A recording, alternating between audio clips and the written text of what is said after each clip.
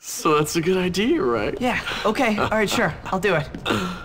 Hey man, what's going on? Not much. I was just telling Petey here about my idea to take over the school. I mean, my plan for us to take over the school. What plan? Don't worry, Jimmy.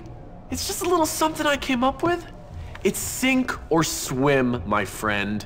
And if you're good at swimming, you gotta let the losers drown. Why don't you guys leave the thinking up to me? What? What? What? What the? Can't you say anything else? you know what, Petey? You were right.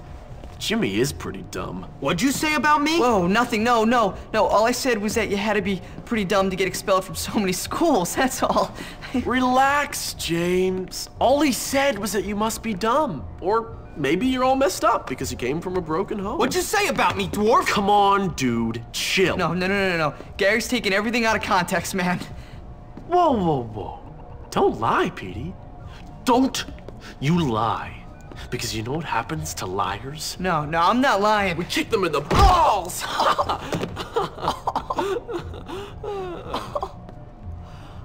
Come on, Jimmy, let's go see how good you are with this new slingshot I heard you had.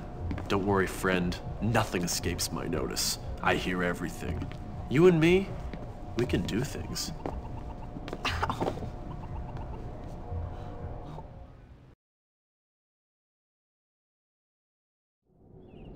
Hey, Jimmy, follow me.